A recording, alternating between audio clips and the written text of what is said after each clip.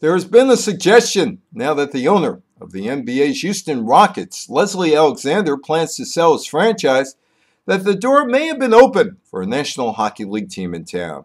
Apparently, Alexander can block the NHL from using the city owned and funded arena thanks to his lease.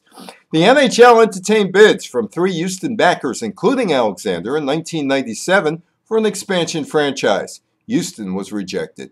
In 1998, Alexander tried to buy the Edmonton Oilers, but NHL Commissioner Gary Bettman found dozens of local Edmonton investors, and the team was prevented from moving.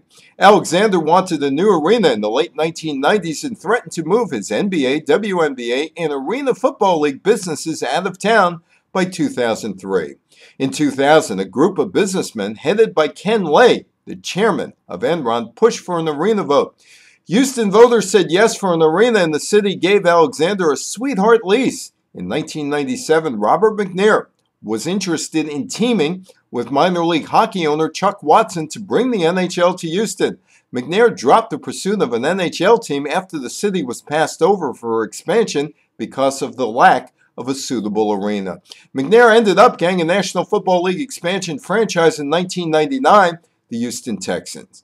Alexander did not get along well with Watson, and Watson helped lead the charge against the 1999 arena referendum, which Houston voters rejected 54 to 46 percent.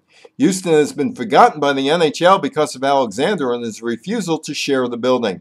According to the lease with Houston, Alexander would get the first shot at an NHL team playing in the Houston building. Houston elected officials wrote a bad lease agreement with Alexander, perhaps not understanding how sports operates.